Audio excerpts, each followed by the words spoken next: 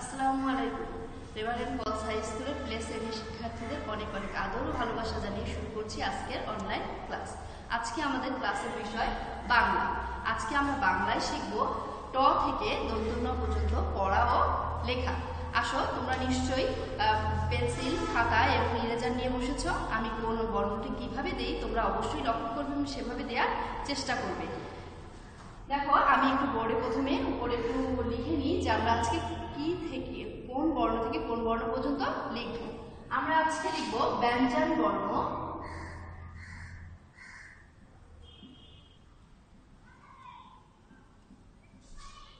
ট থেকে দন্তন্য পর্যন্ত পড়া ও লেখা দেখো আমি তোমাদের এর আগের ক্লাসে নিয়েছিলাম ব্যঞ্জন বর্ণ ক থেকে ইয় পর্যন্ত। আজকে আমরা শিখব ট থেকে দন্তন্য তোমরা তো নিশ্চয়ই পারো, তাই না? বাসায় অনেক অনেক লিখছো। তাহলে তো এগুলো লেখার খুব একটা কষ্টের ব্যাপার হবে না, তাই না? তারপরেও দেখো যে আমি কীভাবে কোন বর্ণটি লিখি। তোমরাও সেভাবে দেওয়ার চেষ্টা করবে। দেখো, প্রথমেই আমি লিখেছিলাম ট। তাহলে আমাদের শুরুটা এখানে কিন্তু ট দিয়েই হবে।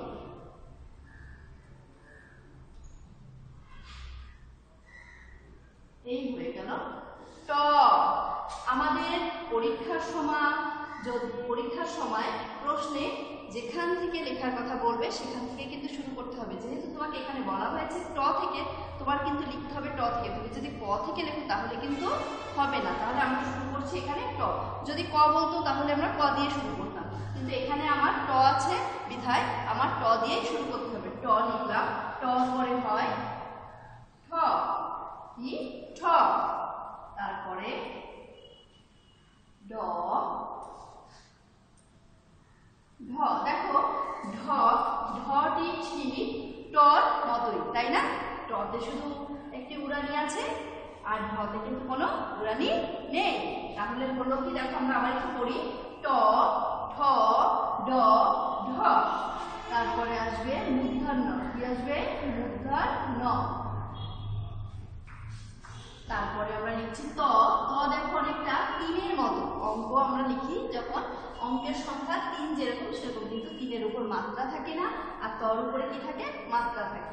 এবার আসে আমরা থ লিখব। থ থ অনেকটা রস্যই লিখতে গেলে যেমন, তেমন ভাবে দিলাম।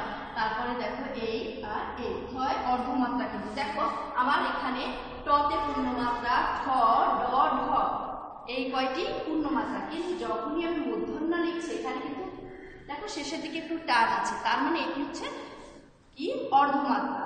আবার ত, পূর্ণমাত্রা, থ, অর্ধমাত্রা। তাহলে ত, থ, তারপরে আসবে আমার দ কি আসবে? দ। তারপরে ধ। দেখো ধ ঠিক এভাবে দিতে হবে, এখানেও কিন্তু অর্ধমাত্রা। তাহলে আমরা একটু করি।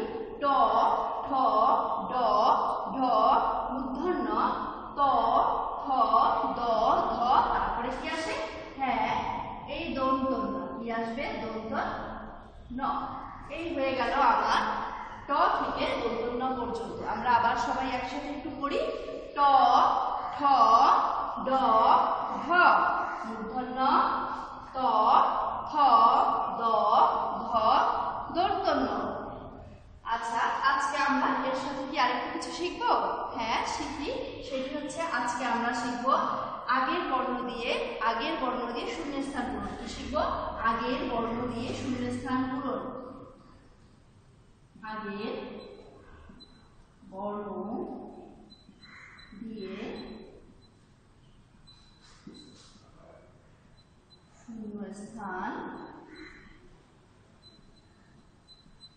পূরণ আচ্ছা আগের বর্ণটি আমরা দুইভাবে শিখব, আমি আগেও শিখিয়েছি তোমাদের এভাবে। আজকে আমরা ক ক থেকে পর্যন্ত, যেহেতু আগের দিনে, আগের ক্লাস নিয়েছিলাম, আমরা সেটি দিয়েই শিখব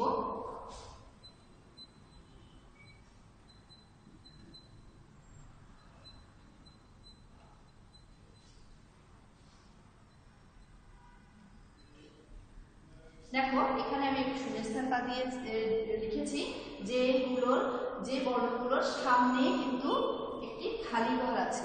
সামনে যদি খালি ঘর থাকে, তাহলে বুঝতে হবে যে সেটি আগের বর্ণ দিয়ে শূন্যস্থান পূরণ করার কথা বলছে। আমাদের দেখো এখানে আছে খ। আমরা জানি যে খর আগে কি হয়? ক। যদি মনে না পড়ে, তাহলে পড়ে আসবে। ক থেকে ক, খ পড়বে। তাহলে দেখবে যে তোমাদের কাছে এগুলো অনেক বেশি সহজ লাগছে। তাহলে আমরা জানি যে খর আগে হয় কি? ক। হলো? ক। এবার যদি তুমি সিরিয়ালি পড়ে যাও, তাহলে কিন্তু অনেক সহজ। দেখো, ক, খ, তারপরে কি? গ। গ হয়ে গেল, তারপরে ঘ চ, ছ, বর্গীয় জ, তারপরে ঝ। এই হয়ে গেল আমার আগের বর্ণ দিয়ে এক রকমের শূন্যস্থান করব আমরা যদি আরেকভাবে দেখি, সেই ক্ষেত্রে আমি দেখো, আমার এখানে যেহেতু বোর্ডের জায়গা নেই, আমি একটু বোর্ডেরটা মুছে দিচ্ছি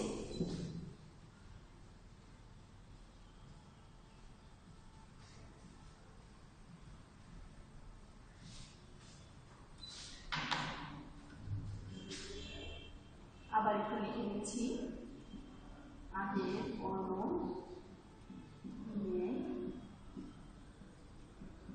খালি ঘর খালি ঘরও বলতে পারি আমরা শূন্যস্থানও বলতে পারি কোনো সমস্যা নেই। পরীক্ষার খাতায় যেটুই যেটি থাকুক না কেন, তোমার সেভাবেই উত্তর করতে হবে। আচ্ছা আগের বর্ণ দিয়ে আমি কয়েকটি এখানে বসে লিখি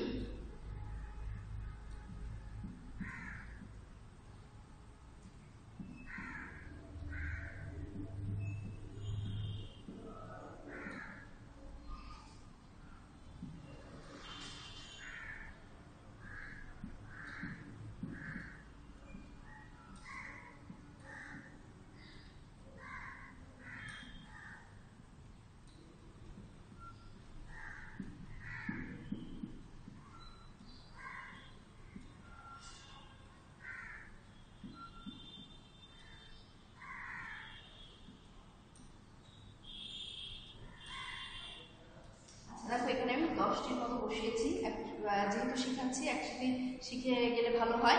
সেজন্য আমি আবার বলছি, যেহেতু এখানে দেখো আছে খ, কি আছে? খ। আমরা এই নিচের শূন্যস্থানটা একটু লক্ষ্য করব, তাহলে আমরা এটা করতে আমাদের বেশি সময় লাগবে না। দেখো আমার প্রথমে এখানে আছে খ। তাহলে খর আগে কি হয়? ক। তাহলে আমি এখানে বসাবো আচ্ছা। ক হলো ক, খ। এবার দেখো হচ্ছে ঘ। তার মানে এই যে ঘ। তাহলে ঘর আগে কি হচ্ছে? গ। ঘর আগে কি হচ্ছে?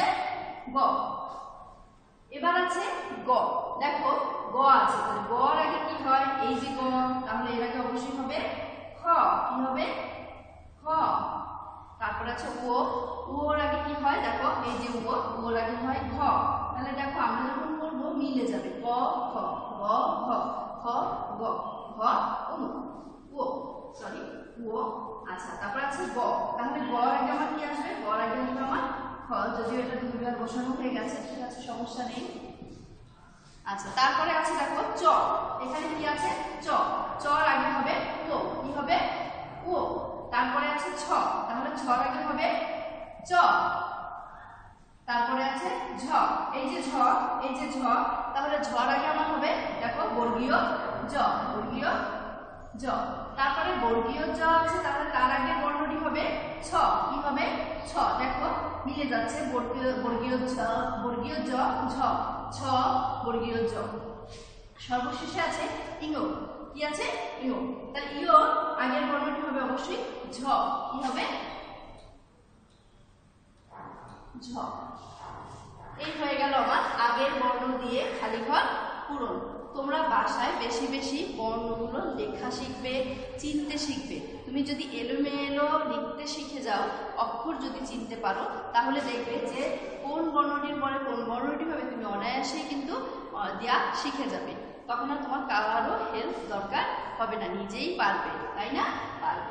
আচ্ছা তাহলে তোমাদের বাড়ির কাজ থাকবে ট থেকে দন্তন্য পর্যন্ত সুন্দর করে লেখা ও পড়া এবং আগের বর্ণ দিয়ে খালি ঘর পূরণ যেগুলো আজকে আমি পড়িয়েছি, এগুলোই বারবার অনুশীলন করবে।